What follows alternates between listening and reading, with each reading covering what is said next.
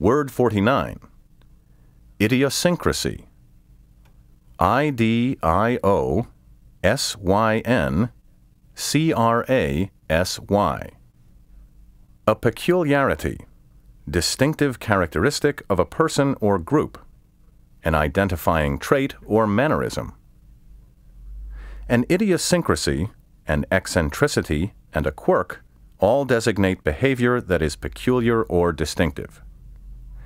Quirk is a mild term for any unusual trait, characteristic, or mannerism. Constant use of um, like, and you know is a quirk of adolescent speech.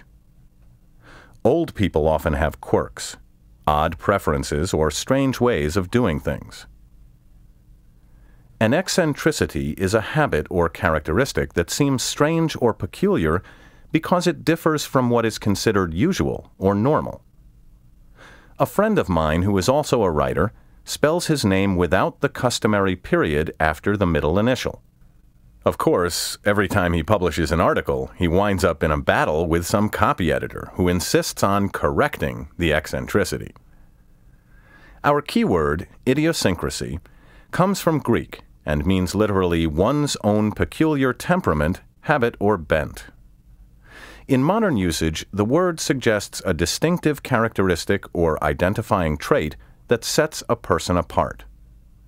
An idiosyncrasy may appear somewhat strange or odd, or it may simply mark someone or something as individual and different from others.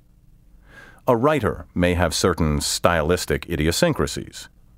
A wine connoisseur can tell you the idiosyncrasies of a particular vintage.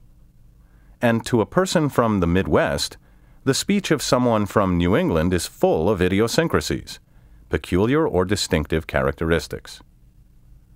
Idiosyncrasy is the noun. The corresponding adjective is idiosyncratic, peculiar, distinctive, odd.